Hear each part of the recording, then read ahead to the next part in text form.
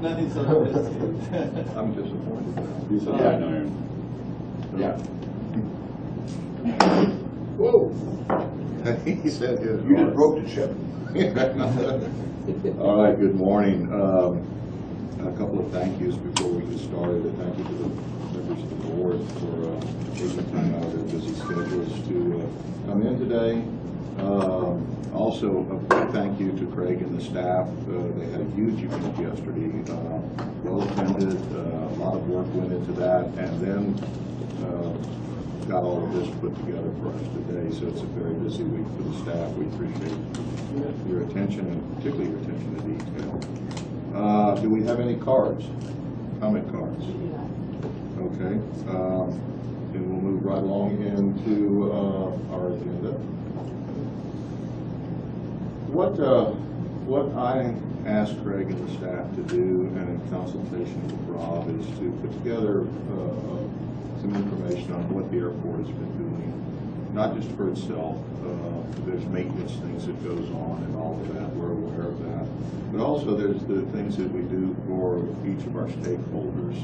Um, We do it sometimes for them, sometimes in conjunction with them, but we also have a huge economic impact in the community. And that impact goes uh, quite often unnoticed. And we want to get out in front of that and let folks know that uh, this is an economic engine. Uh, We're not just about uh, taking passengers from a parking lot, transitioning through them through a terminal and putting them on uh, an airplane. That's what you're going to see when you're driving by out here. There's much more to that. Um, So uh, a lot of this is in in the uh, agenda, but, uh, you know, the airport has uh, uh, invested thirty million dollars uh, in, in this facility since two thousand and seven. It's created uh, two hundred and fifty new jobs. That's not insignificant in a town of this size, particularly a town that has the demographics that we're faced with here. Uh, A very uh, diverse population, but also a very bifurcated population, which you have highly technical people working in the MCAS at the airport, uh, out at YPG and some of the other industries here, and another demographic of people who are uh, primarily in the service industry or the agricultural industry. It all makes Yuma great, but uh, it, it, bringing in 250 jobs, particularly ones that are uh, related to technology, higher end skill sets, is a tremendous uh, uh, impact on the community. Um, that, uh, that impact, though, is not just what occurs at the airport. It's important to note that 250 jobs related to something happening on the airport actually equates to 467 jobs uh, uh, out in the community. You have a multiplying factor of of 1.8. And we thank GYEDC for giving us this information.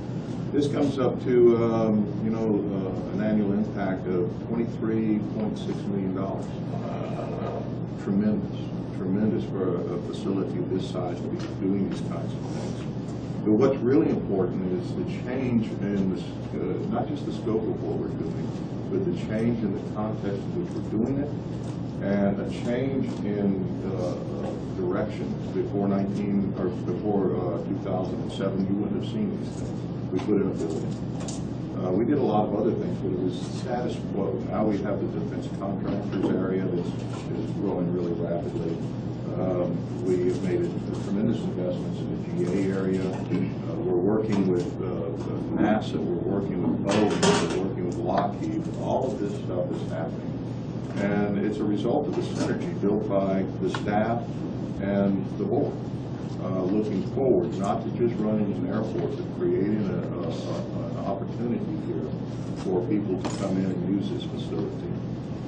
This is the kind of thing that we need to get out to the public so that they know it's not just a parking lot, a terminal, and a walkway there. There's much, much more here. Um, Of course, we, uh, we pay our taxes, two point, uh, a little bit uh, over two million in sales tax revenue, uh, six hundred twenty-four thousand dollars in payroll taxes. Again, th- this, these are big figures. Um, Then we move into the grant area. Uh, Can we, is that the first slide? Well, this is just. Oh, this is the construction district. Yeah, Oh, this is, okay. uh, air- just airport revenue in general. Yeah. uh, over the past four years, uh, it's it's pretty much been up uh, across the board, a couple areas it's flat. Uh, But overall, airport revenue has been going up consistently. Now, uh, we know that in, in this coming fiscal year, we're gonna have a little bit of a downturn. Uh, We knew this was coming, we briefed everybody about it, but we're not worried about it because by uh, next year, when the AIC is online, that uh, is gonna, start climbing again. Uh, Could you go back to that slide? If, if you're familiar with, uh, uh, general trends in economic growth, um, the trend for Yuma County proportionally, and when I was looking at the slides last night, I looked at, I went into some databases. The trend line for economic growth in Yuma County, uh, is not quite as steep as this annual rev- revenue growth. Uh, So the airport is actually exceeding expectations uh, relative to other revenue growth industries in the county. Uh, As you uh, we contacted uh, GWEC they've got modeling software and analysis software that's industry standard, uh, and asked them, uh, can you tell us what our impact is on the community? Uh, They asked us for certain data points uh, to do that calculation. Uh, That included, okay, how many jobs have you sustained, maintained, or created based on the data set? Uh, As Dr. Gould said, there's 250 jobs uh, that are directly related to what we've been doing over the past few years. Uh, What revenue increase have you seen as far as rent is concerned? Uh, These are the new rents uh, that we're talking about uh, that have come online. And then finally, what is the direct investment that you put into, into the airport? This was uh, kind of a surprise to me because we've talked a lot about, you know, our grant funding. uh, But separate apart from that, we talk about other income, the, the projects we've got like the NASA hangar and like the VIC. Uh, But then also, there's the DOT marketing grant uh, has come in here twice, and plus we've had outside investment. Uh, The CBT project, that was a ten million dollar investment that came from outside. Uh, uh, There's a couple others here, the, one that's not even on here is the Sims hangar, as Mayor pointed out to me just a minute ago. The Million Air FBO, the Million Air Earhart hangar, so when you look at the, the actual cash investment into the airport, uh, since two thousand seven, thirty-five million dollars, uh, that's, that's a big number. And Craig, if I might, some of this would have happened no matter what. But a lot of what you see up there, it results from proactive leadership uh, amongst the board and most particularly amongst the, the airport staff. This is going out and working with people and vision. It's not just letting it happen. Um, Going through some of this stuff, uh, there's certain issues there that, you know, we would have to do, but a lot of this is uh, above and beyond just keeping minimum standards. It's real improvement, uh, not just maintenance. And uh, we have to recognize that, that difference. Anybody can tread water. It's the person who can swim upstream, who can swim the length of the pool is going to be the winner. And that's what the staff has done, and that's what we really want to recognize out of this. Um, question, um, Mr. Chairman. The thirty-five million, what percentage of uh, grants outside of our own ability to borrow money? our I think we have a slide on that. Yeah, let me going, to answer your question there. Uh, So with that money. Are are you gonna add on Sims, Sims investment to this slide, or will you make this slide available to the public? We'll get that Or I will, I will. all possible? In the Raleigh, I do have the uh, house number. Mr. Chairman, I can tell you that having the uh, greatest amount of history on this board, the, the difference between that slide today and what that slide would have looked like six or eight years ago is light years, there's differences. And most of those things that you see there, I mean, uh, we might have bought a sweeper, but, uh, you, there really wouldn't have been one-third, one-fifth, one-tenth of those items on, on, on that slide today if- if we hadn't, uh, both through the board action and the staff action, And I- change the direction. This is, it's, it is remarkable.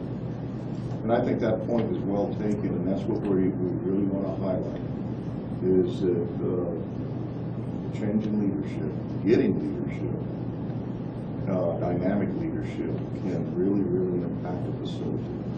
Um, Getting staff, uh, or letting staff do their job and do the things that advantage the airport, uh, through that leadership can have a tremendous impact.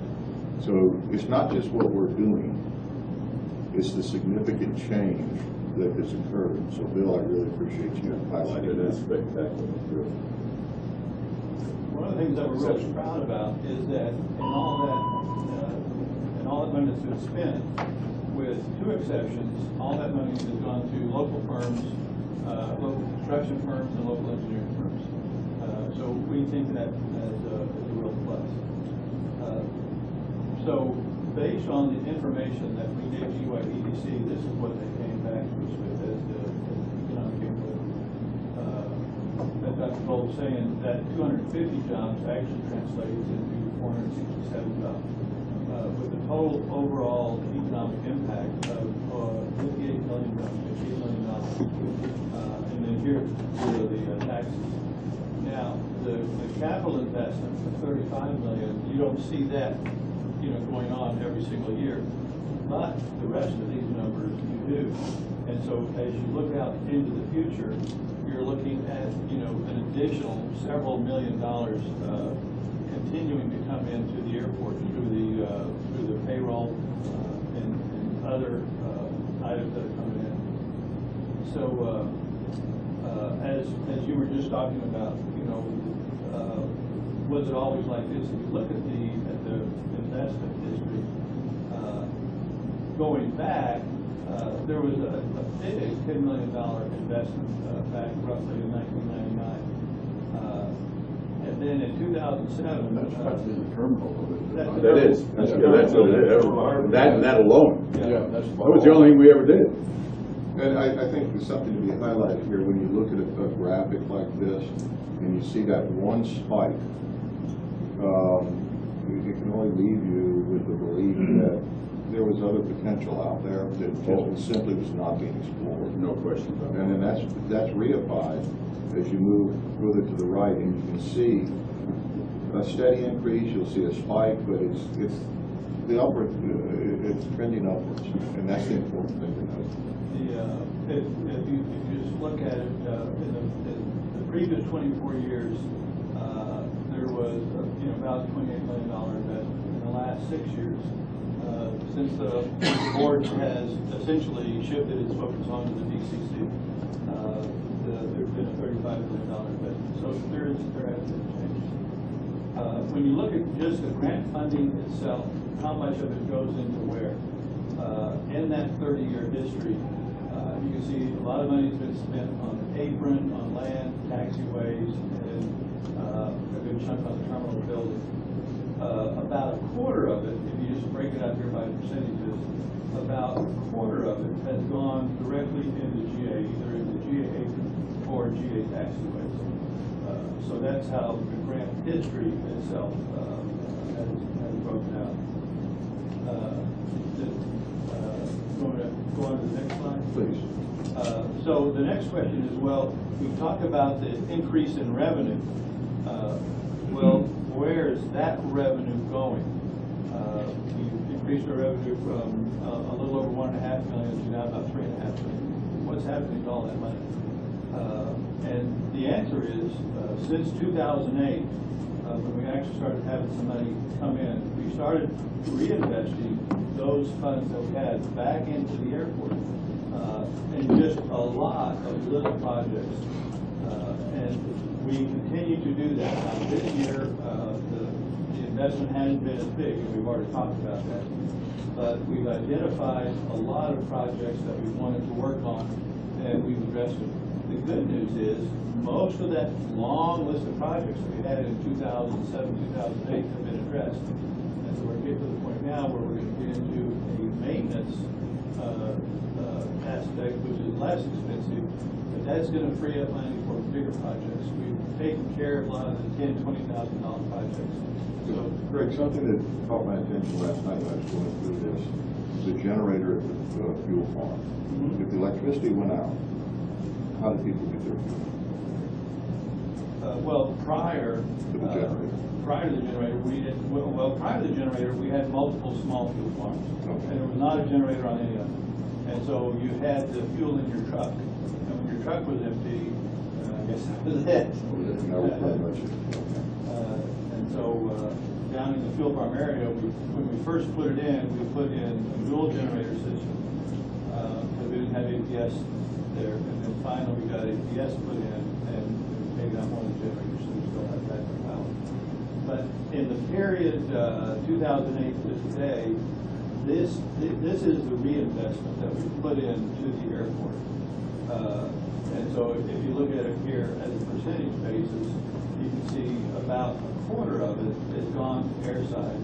If you add this into it too, equipment, uh, most of that equipment is airside equipment too. Uh, uh, In fact, I didn't look to see exactly what.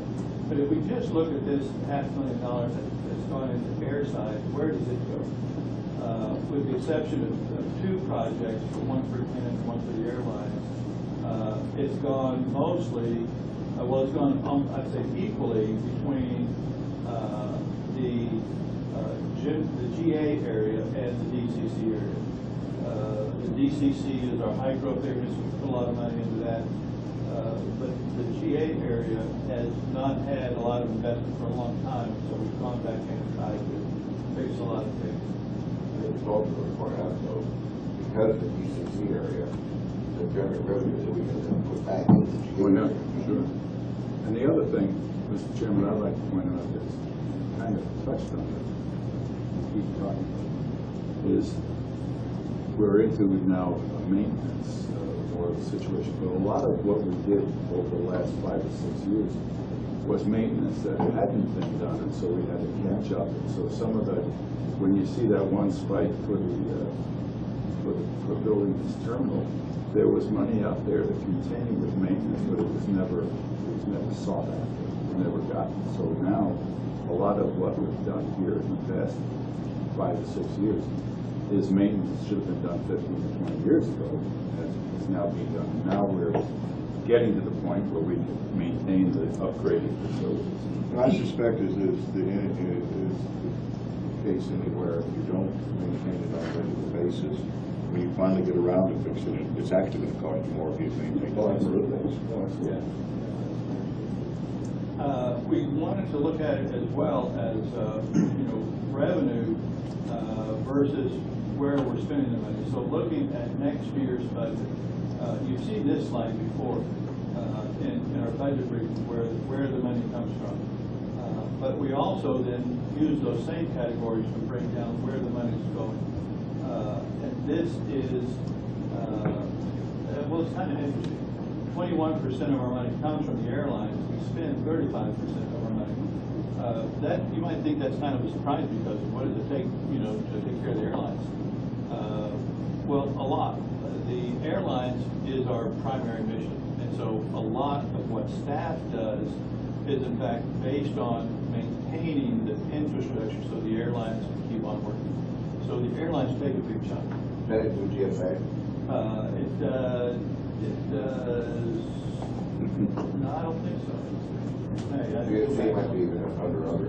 Uh, yeah, I think TSA is actually under, uh, as far as it's concerned, I have to go. But TSA is directly related to the airport users. Absolutely, yeah. Yeah. So you Yeah. could say that we spend fifty-seven percent Mhm. for for our primary mission, I mean, as far as terminal, terminal, primary mission puts a terminal and GA, so we're spending a lot of money for the airport part. That- That's right. When you look at, uh, at at car rental, we get, you know, quarter of our money comes from car rental, and, and they are very low maintenance, you know, so that we really make a lot of money off them. And Craig, Craig, I remember from one of our previous meetings, the revenue from car rental seems to be going up. Yeah. What's, I think, I think, I'm just guessing now, but my sense is that is an indication of the other work that's going on around. There's a lot, you know, hundreds of millions of dollars in construction work going on at MCAS. Uh, there's always work going on at Yuma Proving Ground, and a lot of those guys come in. so here. that's an example of work occurring somewhere else on the airport or in relationship to the airport that actually benefits. I think also, Larry, I think, I think the days of of businesses paying their, their employees mileage to go meetings Oh, yeah, I can tell you right now. Well, that's, that's what, that's what my wife does. She's not allowed to drive her own car. She has It- to have it- her It's, own. it's less expensive to rent a car from Enterprise than it is to use a state vehicle.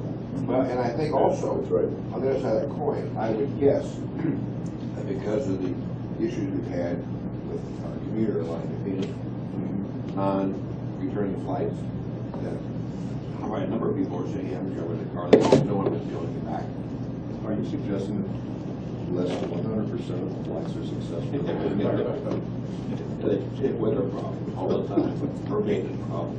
Dust storms. But I, but I think, I think, I think if you watch that, you look at that, I bet if you look at the correlation of the flights that will cancel and the rental car, Yeah. I bet you're gonna see I- I'm, I'm in that group. Yeah.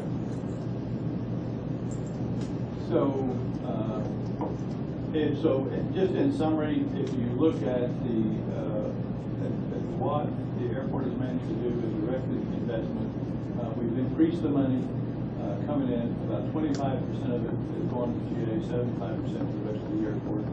Uh, We've got new lease revenue coming in, and we've created jobs. And then, uh, as far as reinvestment is concerned, about half of our reinvestment uh, goes into GA and the rest into the other places uh, on, on the air side. Other things that we've worked at, we, haven't been just engaged on, uh, you know, business, we, we have fun too. Uh, We've put in a lot of new facilities. Uh, The GA terminal was a big plus. Uh, that was a desire that went back, that preceded me by a long time. Uh, And we were finally able to make that happen. We started out uh, by just making the commitment ourselves and and taking a loan, we're gonna build a seven hundred thousand dollar building. In the end, we wound up with one worth a couple million.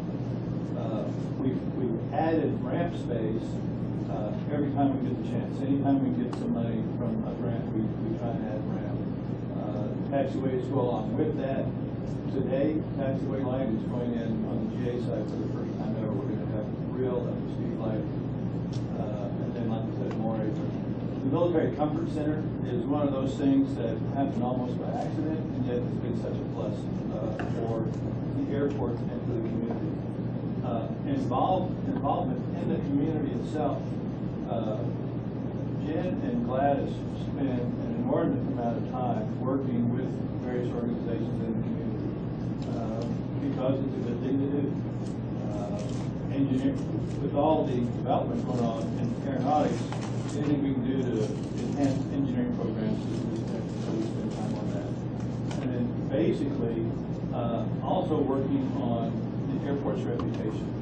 Uh, We do a lot of work, Jim does a lot of work uh, with city agencies.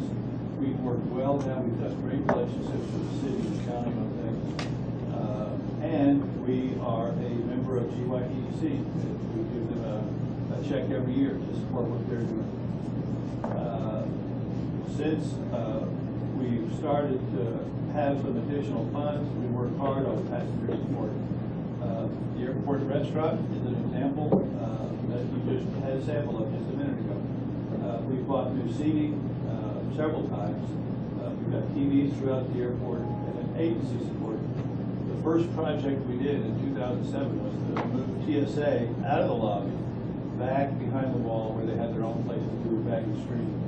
Uh, And if you those of you who have been here long enough, remember the two trailers out there, one for customs. Yeah.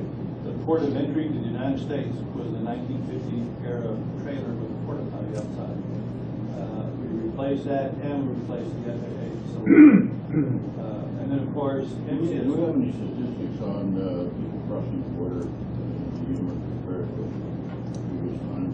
I think that's in the It's always been statistic low, database. it's low. That's correct. It- It's not by person, it's by operation. By operation, through yeah. customs, yes. It's on our website in the portal section, yes. Uh, it's, it's, It's, far better than it used to be. Uh, It used to be when you went, went into the customs circle, no, no sanitary facilities. Very, very bad in the summer. A lot of people were using uh, Lexington, but now, of course, you have everything. So it, it, I believe it certainly, uh, would make it better. I'm not sure how many more people are using. Uh, I'm not sure either. Uh, The, in two thousand seven, uh, the board passed a resolution, uh, saying, okay, we are now partners with MCSU. That was, that was a big deal, you remember that? We got a little flag, we got coins made, which we still use today. Uh, and we've emphasized that ever since. Uh, I, I don't think you wanna, you wanna pass over that too lightly. That was, uh, that was a major. We went from aviation adversaries to aviation partners. That was causing a great deal of trouble in, in, uh, projects, in relations, uh, and just the way things were, were going here in terms of, uh, uh, day-to-day operations, and the way things were happening. So we're getting ready to arm ourselves. Well, I mean, it was a battle. Situation where the Marines uh, were uncomfortable, and in some cases, uh, well, they couldn't come on our side, and, uh, this sort of thing. So, uh, I, I believe that this is one of the major milestones in the progress of the airport, um, over the years. It was a serious problem. Oh, absolutely. Uh, We, we became an air show sponsor. Uh, We're, we're one of their major contributors, if not the major cash contributor uh, to the, to the air show. Uh, We most recently uh, joined with them in their emergency response uh, exercises. Uh, This is such an important part of what we as an airport should be doing. We've never had a major role in that, we don't have emergency responders. Most airports own their own fire department, becomes a big deal. We don't, and so we tend to get left out, but there's still roles that we have to know about and practice on. We've, always done that as much as we can, but now we're doing it in, in a, in a a better, more important way, more sophisticated way, uh, with MCSU. Uh, just recently, we bought radios from the city, uh, emergency response radios, so we are now in the same radio system as the entire state. Uh, we've got our own fleet, we also bought radios from Civil Air Patrol, uh, so, so they are part of that system now as well. And they are a first responder, and in fact, since getting those radios, they've engaged in a statewide exercise. I was talking to Christine Keefe the other day. And she was just so happy that, you know, they were able to do that now, to actually fulfill a CAP mission. Uh, So those kind of things. Engineering partner, uh, what that means is, every week, there's a construction meeting. Uh, And either Gladys or Mark goes to those construction meetings. And I think it's had a beneficial impact on MCAS as well as on us. Uh, Especially when we've got construction projects going on like we do now, where we're working on a project that has the potential to close, in fact, it has closed one seven three five. Uh, You don't want to be doing that at the same time that MCAS is closing, you know, eight two six. And so there's weekly coordination that goes on there now that never had before. Uh, The UAS thing, those of you who were at the meeting yesterday saw uh, the relationship, I mean, how far it's come, that uh, we are all talking together now uh, on UAS operations for the future. That's a big thing. And and Craig, I, I, just as Albert doesn't want to pass over certain things, that meeting yesterday, um, I think highlighted, uh, how integral the airport has become to the community. Uh, I think the airport, uh, actually was in the forefront of making sure that UNO was not ignored in this project, that it didn't just go to Maricopa or FEMA.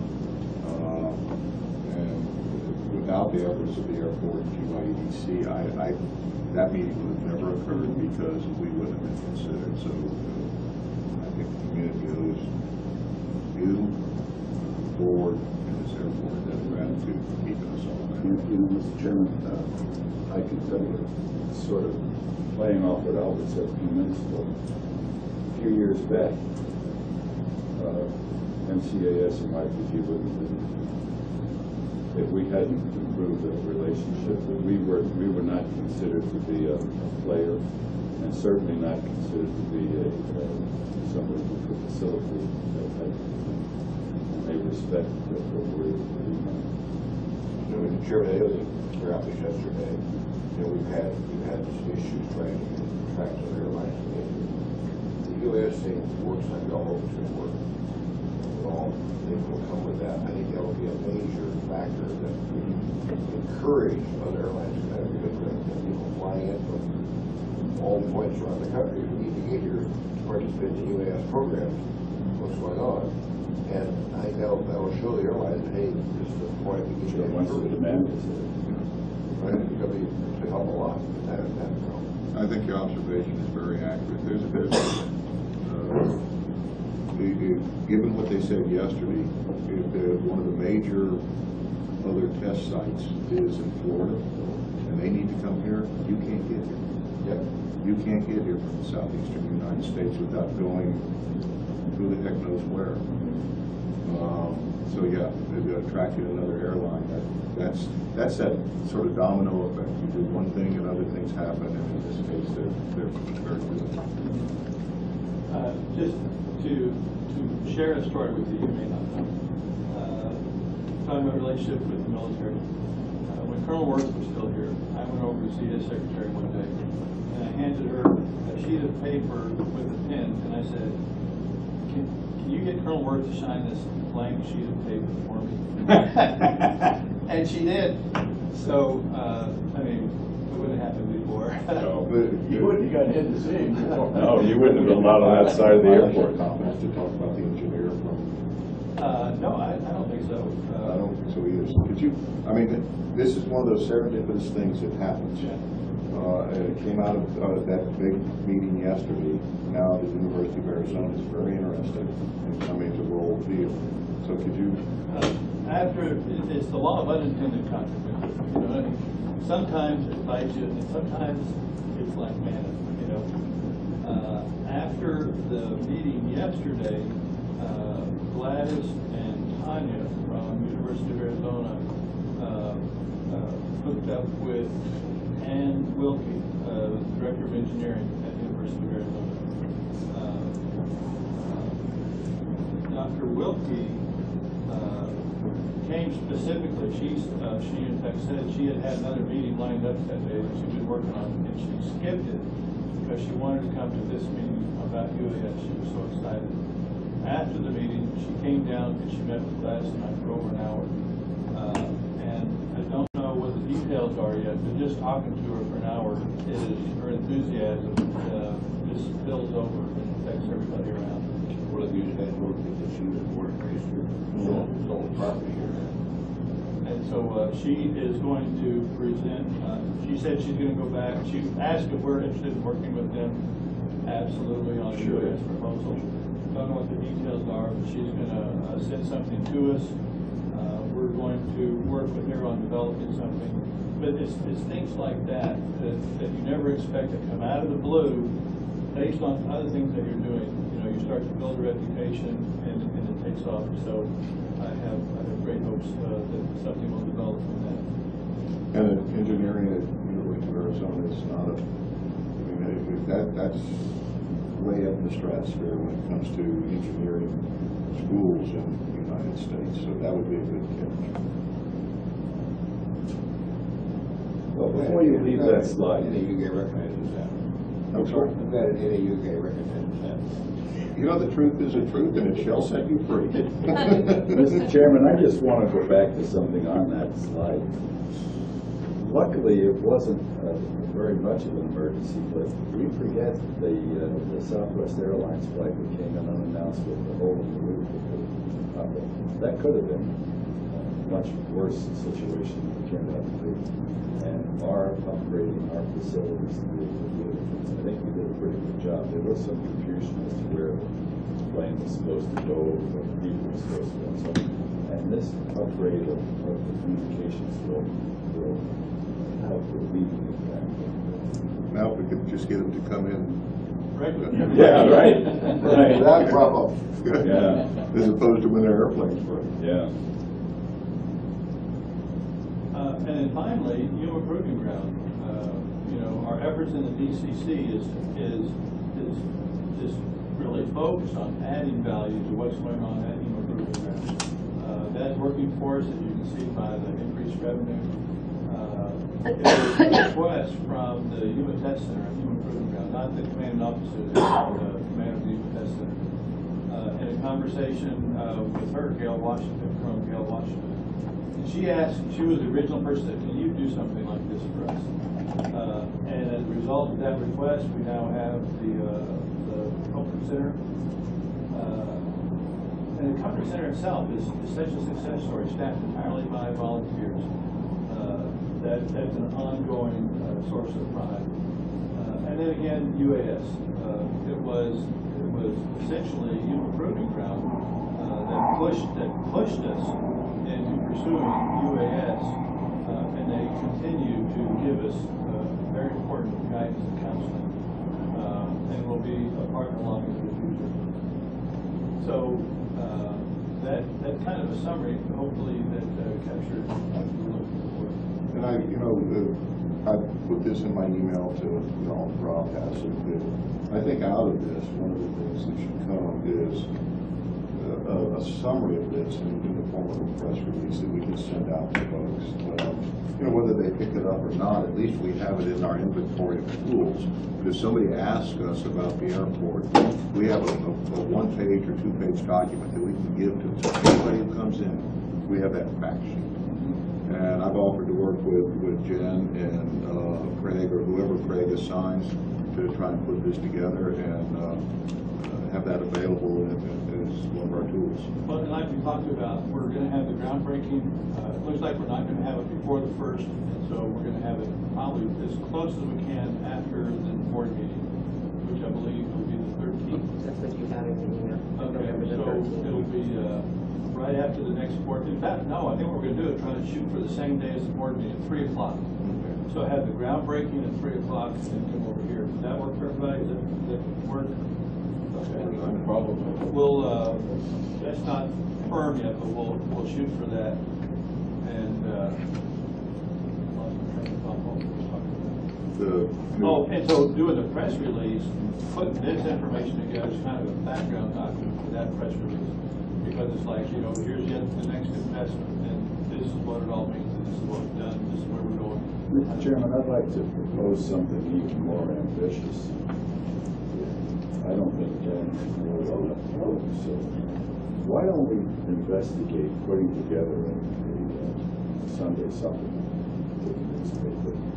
Get all of our aviation partners to pick up the advertising, we've got this and other uh, stories that we can put in from the editorial. Um, I think there are enough aviation partners out there who would want to, I mean, just the airlines and the, and the rental cars. They, they'd like to advertise their, their services and so on. And I think it might be possible to, uh, to get a really good Sunday supplement to the paper, uh, telling a lot of these stories. And this is why committees consist of more than one person. That's a fabulous idea. Sort of along the line of the agricultural. Yeah, special, yeah, yeah, yeah. there from time to time. Yeah. I think this guy's with experimental aircraft the doors fall off, probably take an ad. Yeah. it's- Since Rob was out there running Hilton, we'll appoint him to write it. So- I like that. Yeah. Gen likes it. That's one vote. Any, anything else? Anything for the? You know, one other thing we, we passed over a little bit, is the GA improvements, but given the, given the security concerns that MCAS, uh, uh, sort of pressed on us, we may not have done the only thing possible under the circumstances, but I think the, uh, access that we've managed to carve out for GA uh, under the circumstances, it's uh, second to none. We've got uh, turnstiles virtually everywhere you could possibly need one. Uh, They're, they're large enough to take uh, freight through them, so to speak. And, uh, and I realize it's not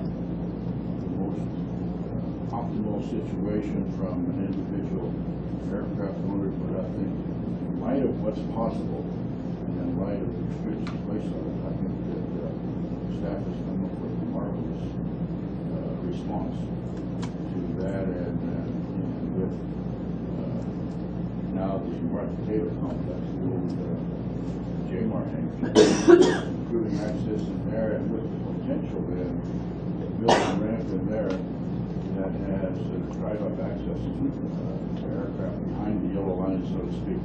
So we'll have secure parking and drive-up. And I realize that's a future project, and it's gonna take some money to do it, but I, but I think uh, maybe the GA uh, community maybe is a little underappreciative of what's gone in to and uh, the funding that's taken to do that. So I'm really quite pleased with uh, the response to that, uh, to our direct users.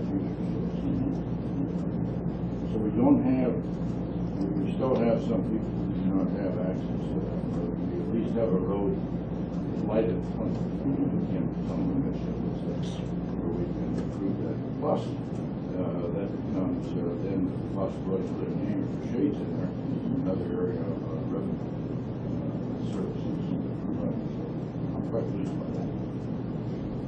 Any other comments? I think, uh, do I need to hit this again? No, we're good, but you can if you want to. I always like to do that. You, you like to do it? I like to. Feels pretty good. Thank you. Any comments from behind? I would like to say, nice job, and I would echo what Bill said about the uh, supplement, I think that would be really good. I, for one, will acknowledge that I am ignorant of all, of everything that that Mr. Williams and the board has done for the airport, and it would be nice to know that, and Agree definitely with Albert too, so, yeah, nice job. I had no idea of the money that had come in, and Gladys and that's smiling at me, that's true, I had no idea, and, you know, hey, it's true, it's, you guys have done a nice job. I admit it. Thank you. All right, folks. Just some more